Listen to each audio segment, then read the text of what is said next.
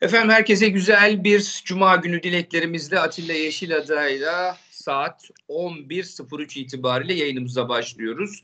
Kendisine öncelikle günaydın ve hoş geldiniz diyelim. Atilla abi günaydın, hoş geldin. Nasılsın?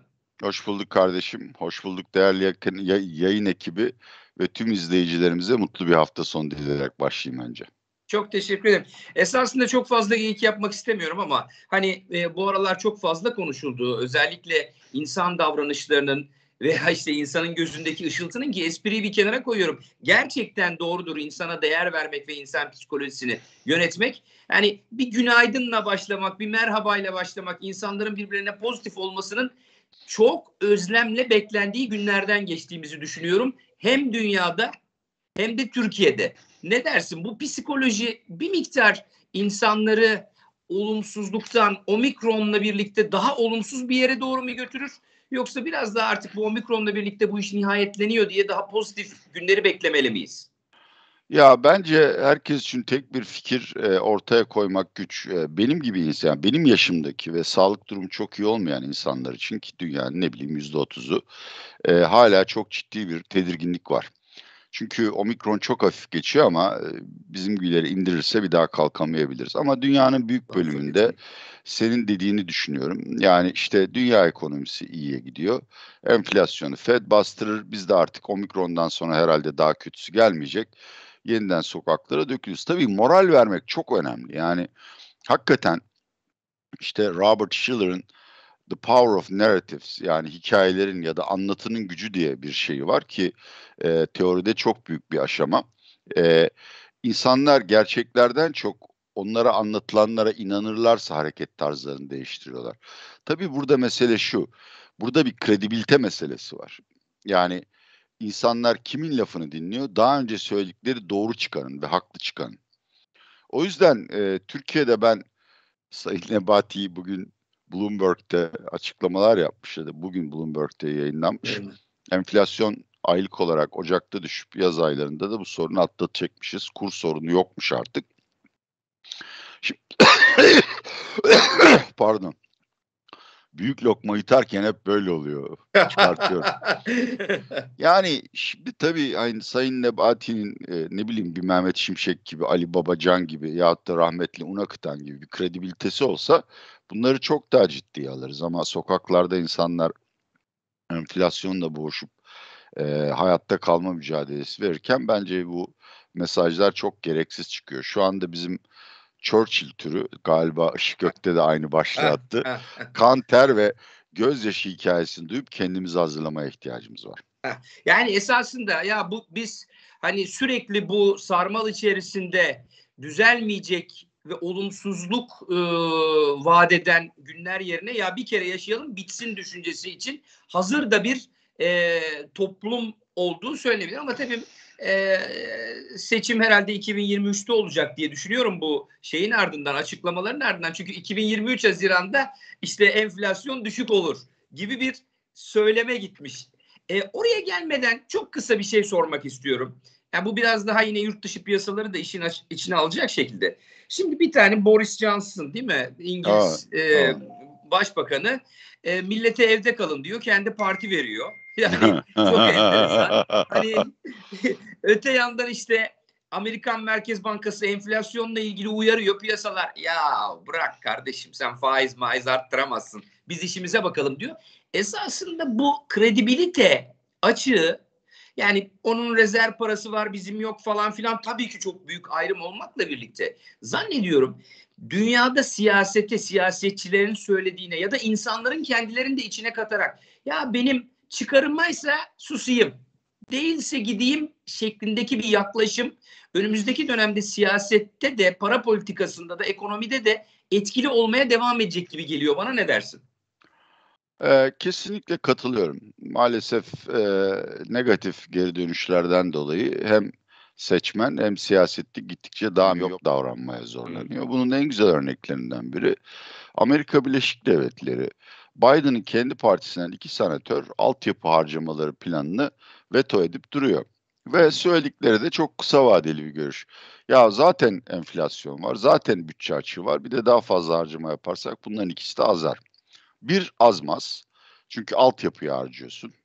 Produktiviteyi arttırır. İkincisi kardeşim Çin Biden'ın 10 yılda e, önerdiği harcamayı bir yılda yapıyor senin önüne geçmek için. İşte yani uzun vadeli düşünsen halkının menfaati ya da Amerika'nın çıkarları açısından bu paketi bütün cumhuriyetçilerin desteklemesi gerekir. Öyle olmuyor. Boris Johnson bambaşka bir hikaye ama e, benim okuduğum kadarıyla e, muhafazakar parti Tory'ler ondan bıkmış. Eğer e, bir gen soru önergesi gelirse parti tarafından dahi düşürülebilir. Bu durumda tabii e, pound'un çok ciddi zarar vereceğini, zarar göreceğini düşünüyorum. Amin. E, evet. Sebebi de şu. onu, onu bile bu bir yatırım görüşüydü. Lütfen şey yapma altına altına uyarı koyun.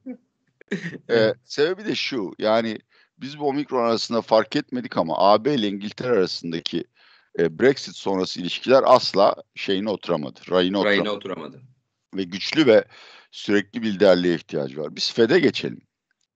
Ee, ben Fed'i yaptığı hatalardan dolayı suçlayamıyorum. Çünkü hakikaten öngörülmesi çok güç bir e, dünyada yaşıyoruz ve dönemden geçiyoruz. Ama şöyle veya böyle sebebi ne olursa olsun hakikaten kredibilite kaybettiler. Bunu da şuradan anlıyorum. Adam açık açık yani hem toplu olarak kor halinde hem e, önde gelen guvernörlerin ağzından 3 en az belki 4 faiz artırma yapacağız bir de bilançoyu daraltacağız diyor. Açık Bunlar net söylüyor çok bunu. Açık. Evet bunlar tarihte her zaman riskli varlıkları S&P 500'den bizim BIST'e kadar bütün piyasalara darbe vurmuş. 2018'de Fed sözünü tuttuğunda S&P 500 ayı pazarına girdi kısa bir sürede olsa. Ama tabii şimdi olmuyor. Nedeni de çok basit.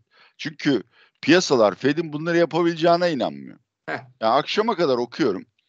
Uzmanların yarısı hala yani iki tane arttırır durur. Siz kafanıza takmayın. Fed piyasaların canını yakmak istemez ya da ya enflasyon geçici bir şey. Şimdi çok sert konuşuyor ama yılın ikinci yarısında da durur diyor. Ben bunu biraz aşırı hayalcilik olarak görüyorum. Evet. Şimdi e, dün akşam ben Twitter'a bir e, mesaj attım. Sen de e, cevap ver, vereceğim demişsin zaten. Altın değerinde bir soru. FED faiz artırır ama enflasyon düşmezse ne olur? Yani evet. hep şu var ya yani faiz arttıracak ama çok minor arttırıyor esasında. Yani tamam dört tane arttırıyor çok önemli elbette finansal piyasaları etkileyecek de bu e, enflasyonu kalıcı olarak düşürecek kadar sert bir hareket mi? Değil mi? Eğer behind the gap dediğimiz yani enflasyonun arkasında kalan bir Fed funds rate olursa bu bizi nereye taşır? Ee, yani kesinlikle şu andaki faiz artımlarının öngörülen temposu enflasyona çok büyük bir etki yaratmaz. Bu yüzden de zaten bilanço daraltmayı e, masaya sürdüler. Bilanço daraltma çok daha e, sert bir tedbir. Şöyle ki JP Morgan'ın kendine özgü bir göstergesi var. Onlar hem faiz artırımlarını hem de bilanço boyutlarını göz önüne alarak bir gölge FED faiz oranı hesaplıyorlar. Onlar bu gölge FED faiz oranının bu sene 470 bas puan artarak ama 2022 sonunda eksi 160 bas puana yükseleceğini öngörüyorlar. Hmm, anladım. Dolayısıyla tabii ki enflasyon düşmeyecek. Yani eğer şansımız varsa hakikaten enflasyon geçicidir, kendiliğinden düşer. Ama bu tedbirler düşürmez. Zaten hmm. sıkıntım da oradan kaynaklanıyor. Eğer bu enflasyon geçicidir ki yatırımcılar hala bu görüşte görüşü yanlışsa çok ağır bir darbe yiyecek piyasalar. Hmm. Çünkü o zaman 2023-2024'te de faiz arttırımı ve bilançonun ciddi bir şekilde tasfiyesini hisse senetlerinde iskonto etmeye başlayacağız. Devlet tahvillerinde de iskonto etmeye başlayacağız. Gelişmekte olan piyasalar açısından da çok kötü bir senaryo. Ben hmm. en azından 2023 ortalarına kadar e, Fed'in yol haritasından caymayacağını ve bütün riskli varlıkların bu sene ortasında ya da daha önce hatta bu algıyı kabul ettiklerinde e, ciddi bir deprem yaşayacakları görüşündeyim. Peki. iki tane şey, şey var. Bir, hani enak gibi bir şey mi onlar? Gölge faiz hesaplıyorlar ya. Ha. Acaba kendilerine dava açılmış mı? Hiç onu merak ediyorum.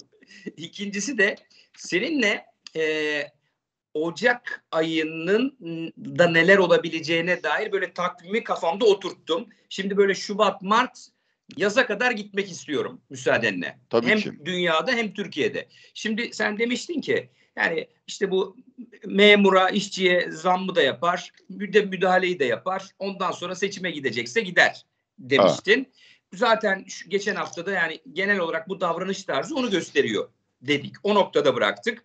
Bu bir. İkinci bıraktığımız noktada şuydu. Altın alalım mı almayalım mı dediğimde sen yani Fed'in artık açıklamaları önemli bu hafta. Çünkü enflasyonla mücadelede ne kadar hani büyümeyi mi öne alacak, enflasyonu mu öne alacak dedin. Her iki konusunda da esasında çok önemli netleşmeler var. Buradan evet. bir gidelim mi? Hani bize ocağın geri kalanı Şubat, Mart hem FED hem bizim açımızdan neler söylüyor? Valla şuradan başlayalım. Fed ilk faiz arttırımını Mart'ta yapar. Hatta aynı zamanda bilanço daraltmada ilan ederse şaşırmam. Çünkü enflasyon baskıları gerçekten çok güçlü ve çok kısa zamanda çekirdek enflasyonun beklentilere sıçraması riskini görüyorum. Ee, ve ondan sonra da 3 ayda bir değil belki 2 ayda bir ya da her aylık toplantıda canlı olabilir. Yani faiz arttırımları gelebilir. Bu dünyanın karşılaş, dünya piyasalarının karşılaştığı en önemli risklerden birisi. İkincisi, bu yeni girdi radarımıza. Daha bir iki hafta önceye kadar Rusya'nın Ukrayna sınırına asker yığmasının bir blöf ya da bir şantaj olduğu Rusya'nın özellikle Kazakistan'da işler bu kadar karışıkken Ukrayna'ya askeri müdahalede bulunmayacağı düşünülüyordu. Ama şimdi en azından e, askeri stratejistler açısından bu değişmiş durumda. E, işte Amerika Birleşik Devletleri AB özel temsilcisi sıcak savaşa yaklaşıyoruz gibi yorumlarda bulundu. Ben hala Putin'in Ukrayna'da kapsamlı bir askeri harekata girişeceğini düşünmüyorum. Ama girişirse e, dün Beyaz Saray ve Amerikan Senatosu'nda bazı temsilciler yalnız Rusya'ya değil Putin'e de yaptırım uygulama konusunda anlaştılar. Bu şimdi çok büyük bir hakaret. Yani bizim Sayın Cumhurbaşkanımıza bir takım şahsi yaptırımlar uygulandığını düşün. Yani bunu hiçbir devlet kabul edemez. Ve Rusya'da karşılık olarak biz Amerika Birleşik Devletleri diplomatik ilişkimizi keseriz dedi. Şimdi bunlar e, biraz blöf koksa da ben piyasaların yavaş yavaş bunu fiyatladığını düşünüyorum. Dolayısıyla Ocak ayı sonunda çok zor günler geçireceğiz diye düşünüyorum. Altın daha bir süre prim yapmaz. Sebebi de gayet basit söylediğim sebep. Yani kimse enflasyondan korkmuyor. Kimse kalıcı bir enflasyon durumunda Fed'in çok sert tepki göstereceğini kabul etmiyor. Şimdi ilk önce bu tepkiler yani ilk önce bu algı değişecek ve bu algı değiştiği zaman altına çok yoğun satış gelir. Yani 1500 dolara kadar inebilir. Ama zaman içinde şunu göreceğiz. Ki bu ikinci çeyreğin hikayesi. Senin de söylediğin gibi faiz arttırımları falan pozitif reel getiri üretmiyor. Hı hı. Hala çok düşük kalacak reel getiriler. İkincisi altın yalnız kısa vadeli değil ABD tahvil faizlerine göre de pozisyon alır. ABD tahvil fa yani kısa vadeli faizler hızlı artacak. Ama 10 yıllıkları düşük tutan işte Japonya'da faiz sıfır, Almanya'da eksi 0.09. Orada çok ciddi bir arbitraj karı var. Dolayısıyla 10 yıllıklarda getirilerin yükselmesi çok daha yavaş ve zamanı al alınacak. Bu sebepten dolayı enflasyonun kalıcı olacağı ve Fed'in çok sert mücadele etse de bununla başa çıkamayacağı anlaşılınca ben altının ciddi prim yapacağını düşünüyorum.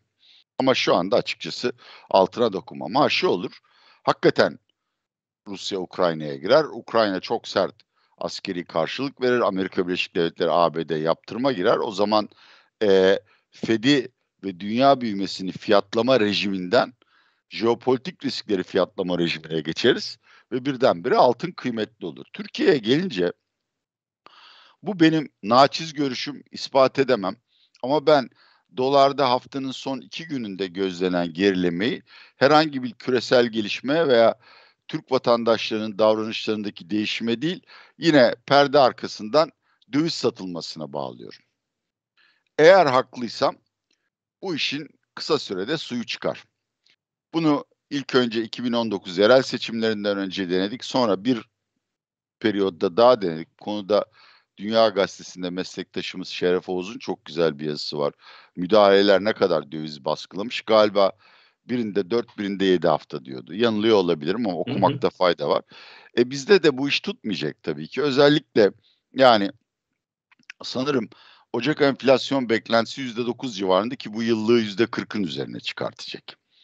Şimdi siz yani döviz koruması verseniz de mevduatta pek kalmaz insanlar ve hızla e, dolara dönmeye başlarlar. E, bu yüzden de yani e, dövizin suyu e, Şubat sonlarına kalmadan çıkar kaygısı içindeyim.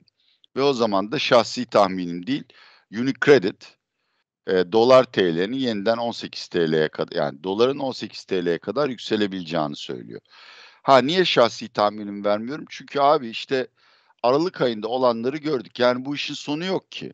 Evet. Şu anda bir barajın arkasında su birikiyor. O barajda evet. Merkez Bankası müdahalesi. E o barajın kapaklarını açarsan ya da baraj çatlak gösterirse o zaman bütün su yayılıyor ovaya. Nereye kadar gideceğini de kimse bilemez. Özetle söylemek gerekirse yani Türkiye piyasalarında, dünya piyasalarında da şu anda e, 2021 boyunca Türkiye'de borsada pozitif algıyı sürdürebilecek bir gelişme görmüyorum ama bunun fiyatlanması zaman alır. Peki. Yaz aylarına geldiğim bir şey daha söyleyeyim. Tabii tabii. Ee, ben senin Sayın Nebati'nin ekonomi konusunda yaptığı yorumlardan bir seçim çıkarımı yapmanı gerçekten beğendim. Ee, ama 2023'e kadar beklemeleri gerekmez. Hakikaten Haziran'da enflasyon düşük. Bir de işte bu sene çok e, güzel bir turist takım bekleniyor. Ekonomi canlanırsa bu sefer Sayın Kılıçdaroğlu'nun dediği gibi Eylül-Ekim seçimleri gündeme gelebilir. Peki. Şimdi e, ortaya çıkan tabloda şu. E, enflasyonla mücadele edeceğini söyleyen FED'e kulak kapansanız da e, enflasyonla mücadele edeceğini söylediği bir dönem boyunca en azından Mart'a kadar altının Ukrayna gibi bir Ukrayna-Rusya savaşı gibi bir e, dışsal şokla e, yukarı itilmemesi hali dışında e, bir önce aşağı sonra yukarı yapabilir evet. gibi gözüküyor. Dolar TL'de önemli seviye bunu ben söylüyorum 14'tür. Bu 14 bir kırılırsa evet. barajın arkasındaki su dediğiniz gibi e, iş tekrar kontrolden çıkabilir. Ama ve lakin bu becerilebilir ve yaz aylarına bir hani o e, şey nedir adı e, o e, yeni bir köprünün hani o şeyi gibi kordonu gibi bağlantı sağlanırsa yazın döviz bolluğu işte Nebati'nin söylediği gibi işte tarımdan kaynaklanan bir dönemsel enflasyon düşüşüyle birlikte aa bakın hava ne, ne güzel omikronda geçti tatil yaşasın Türkiye deniz güneş kum deyip bir sonbahar seçimi olasılığını göz ardı etmemek lazım diyorsun. İki tane de şey var tabii burada. Bu daha önce de oldu. Ekonominin gerçekleriyle finansal piyasalara bunların yansıtılması arasında zaman zaman hem anomaliler oluyor hem de zaman farkları oluyor. Şimdi hükümet de hep tavşan çıkarıyor şapkadan. Ama hani ağzıyla kuş tutsa kimse hükümete ya bunlar bunu becerecektir şeklinde bir pozitif yaklaşımı olmadığı için döviz möviz kimsenin bozduğu yok. Ama ve lakin bu işte e, dövizini bozanların kurumlar vergisinden muaf olması konusu şirketlerde. İşte yurt dışından paralarını getirdiği zaman sormayacağız getirebilirsiniz gibi konular bizi yaz aylarındaki dövizin bol enflasyonun düşük olduğu döneme taşıyabilir mi? Bence gönüllü olarak e, kurumlar özellikle vade bir araya düşürülmezse vergi avantajlarına rağmen dövizlerini bozmazlar. Çünkü kimse Türkiye döviz zengini değil. O dövizler ya yurt dışından alınan kredilerin ya da Türkiye'den alınan döviz kredilerinin teminatı ya da şirketin yatırım ve tedarik planlarında kullanılacak olan bir cephane. Ama ben açıkçası şundan korkuyorum. Ee, yani biz bu kadar kıyak yaptık hadi sizde biraz pamuk eller cebe diye yine özel telefonlarla yüklü miktarda döviz fazlası olan şirketlere ricalarda bulunabilir. Hı hı. Ve onlar da sırf hükümetle aralarını bozmamak için bir miktar döviz bozdurabilirler. Ama ben e, bu rakamların bizi yaza e, kadar taşıyacağından açıkçası emin değilim. Şimdi tabii şunu bilemiyoruz. Yani senin de söylediğin gibi 14'te tutarsan dövizi, tutabilirsen ki ben tutamayacaklarına inanıyorum ama rakamlar o kadar muğlak bilemiyorsun. Tutarlarsa e, yaz aylarında gerçekten fasit döngüden pozitif geri dönüşe, geri etkileşime geçebiliriz. Bir de şunu söylemekte bir fayda var. Yani Sayın Nebati'nin söylediklerini şöyle yorumlayabiliriz. Hükümet, AKP ve saray başka bir realitede yaşıyor. Ha, onların realitesi bize baskın çıkabilir. Bizim realitemiz onlara baskı çıkar. O başka bir konu. Bu değişik realitede yaşamanın bir başka örneği de Sayın Erdoğan'a sunulan anketler. Bunları da Abdülkadir Selvi'den okuyorum. Yani o anketler işte dövizin istikrar kazanmasından sonra AKP teveccühün ciddi boyutta arttığını, şu anda AKP MHP ittifakının e, seçimlerde oyunun %50'nin üzerinde olduğu ve Sayın Cumhurbaşkanımızın da diğer rakiplerine en az 10 puan fark attığını gösteriyor. Dolayısıyla seçim takvimi konuşurken bunları da göz önünde bulundurmak lazım. Bunu geçmişte de hep yaşadık. Yani genelde Sayın Erdoğan'a sunulan anketler bunların halka açıklananlarından ben hesaplama yaptım.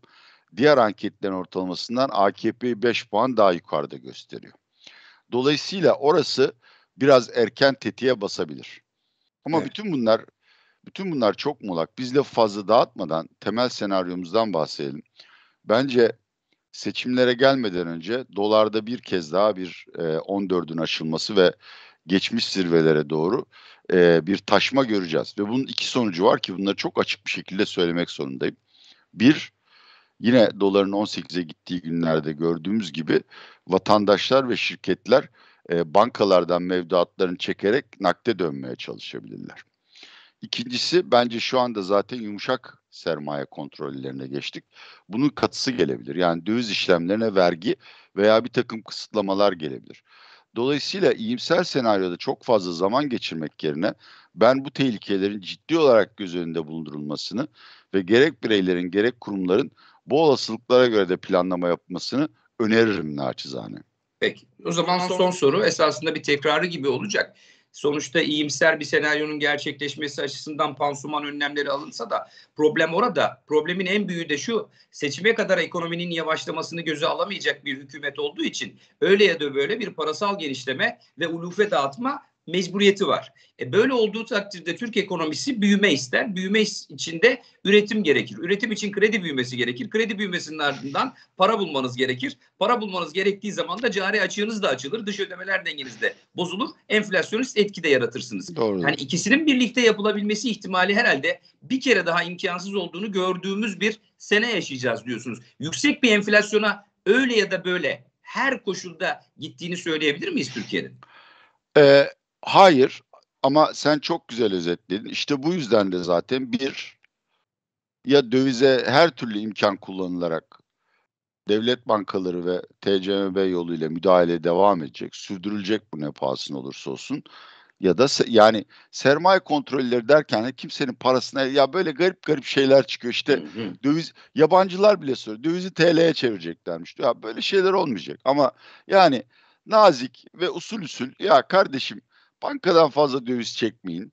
Ee, yani döviz mevduatınızı da yurt dışına yollamayın gibi yollarla ateşi alınacak dövizin. Sebebi de şu.